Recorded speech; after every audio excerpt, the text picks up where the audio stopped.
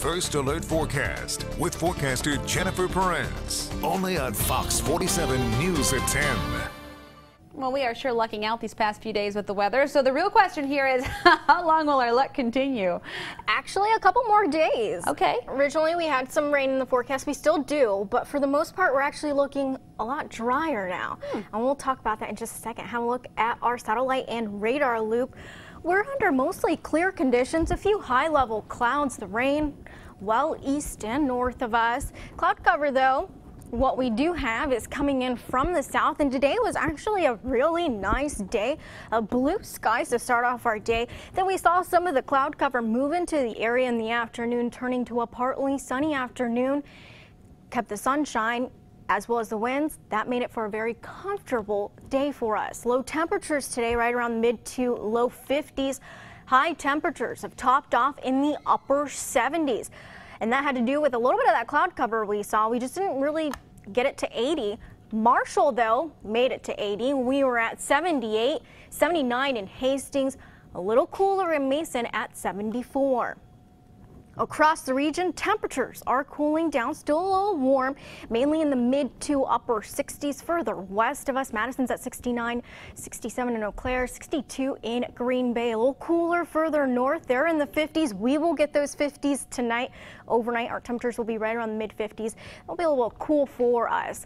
A look at our national satellite and radar loop. We've got scattered showers further south of us, and that has helped increase a little bit of the high level clouds in our area. For the most part, this stays south of us and that'll continue moving east.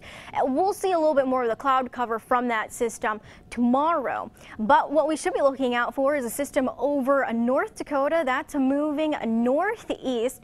And for the most part, it stays north, but we will be, we could be seeing a chance of a shower mainly Friday night and into Saturday morning. It won't be a washout. It's looking a lot drier than originally as far as the models are concerned concern. Let's break it down for you. Tonight, we stay mostly clear. High pressure continues to dominate the area.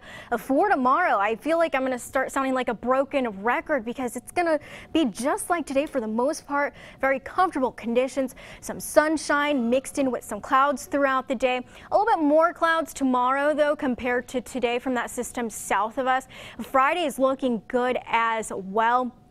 We'll start off mostly sunny Friday morning and then we'll see some cloud cover work into the area of Friday afternoon and then we'll see Friday night likely a chance of a shower from the system just west of us. That'll stay north so it really won't be over us but we could be seeing a chance of a stray shower Friday night and into Saturday. Saturday's looking good as well. It's not until Sunday night that we'll see our next best chance for some rain. Tonight, uh, mid 50s for our overnight lows. Tomorrow morning, upper 50s. High temperatures tomorrow, topping off in the upper 70s. Friday, much the same. We'll start off right around the upper 50s, right around 60, and then we'll top off in the upper 70s, right around 80. For this weekend, we will be warming up.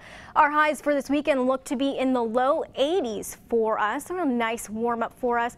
Tonight, we'll stay mostly clear with a low right around 56. Winds light out of the east southeast. Tomorrow, Mostly sunny, a high of about 78. We'll see some puffy clouds in the afternoon. Overall, though, a nice, calm, comfortable day for us tomorrow. Look at the seven day. We stay mostly dry well into Friday. It's not until Sunday night and into Monday when we will see a greater chance of some rain. At least it's Sunday night, though, so hopefully everyone will take full advantage of their weekend leading up to that point, so I won't ruin too many plans. I'm sure they will. At least they will now, right, Jennifer?